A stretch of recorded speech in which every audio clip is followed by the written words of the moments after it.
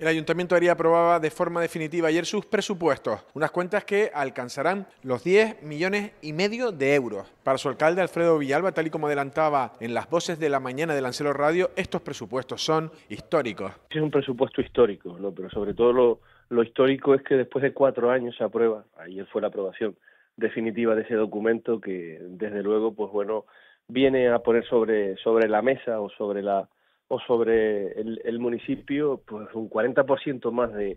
presupuesto ante la locura que sucedió pues la legislatura pasada, que el último presupuesto se aprobó, pues también siendo en este caso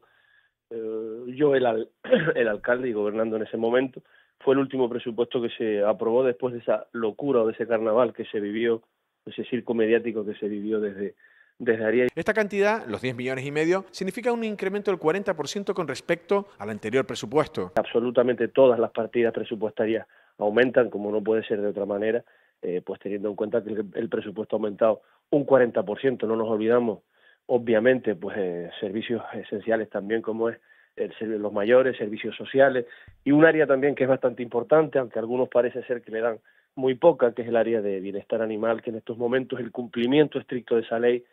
dificulta muchísimo con los recursos que en esos momentos habían destinados para, para este área la, la, la, posibilidad de cumplirla, ¿no? Por lo tanto, creo que el presupuesto es un presupuesto muy ambicioso, con unas cantidades históricas y esperamos estar a la altura para saber gestionarlo. Otro de los incrementos que han querido destacar desde el Grupo de Gobierno Municipal es la subida de las ayudas a los estudiantes, que pasan de 35.000 a 50.000 euros.